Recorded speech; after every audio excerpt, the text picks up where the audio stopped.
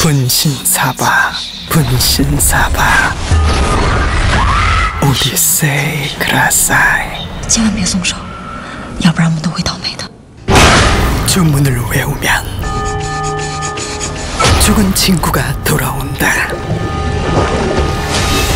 가위폰 안병기 감독.